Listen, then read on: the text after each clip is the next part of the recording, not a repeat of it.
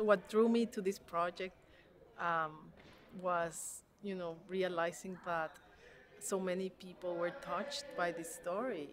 I think a, a billion people were watching it and following it very closely, and I wondered, what is it about it that you know this particular story moved so many people around the world?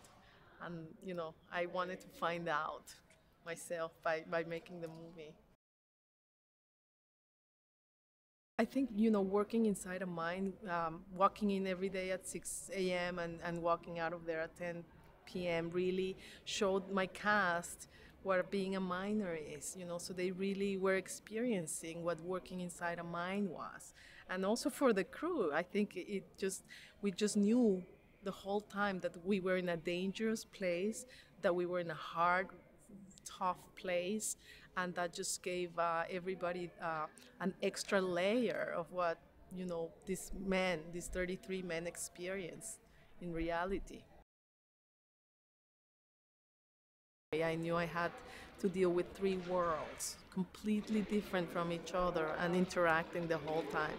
The world of the families, which were so important to keep the faith and the, the strength of the whole rescue alive the, the group of the, the world of the miners, you know, below ground, completely separate from everything because they had no contact with the outside world for 17 days.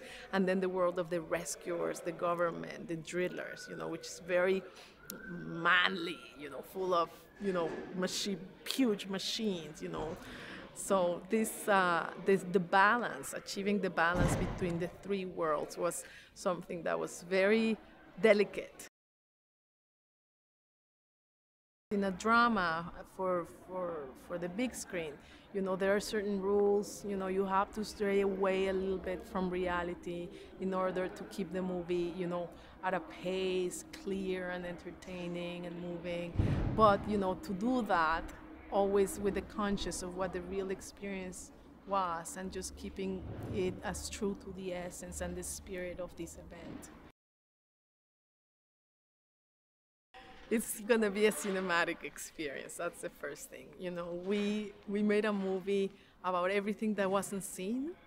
You know, everything that we don't know about, everything that happened below ground. We ne- we were never there inside with them. You know, except for you know a few very dark videos. But you know, being really down there with the guys the day that this collapse happened.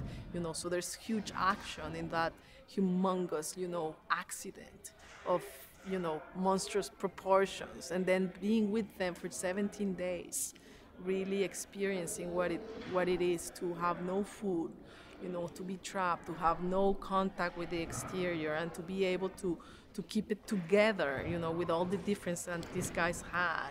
That's something that we are gonna be part of. You know, it's very intimate in that sense.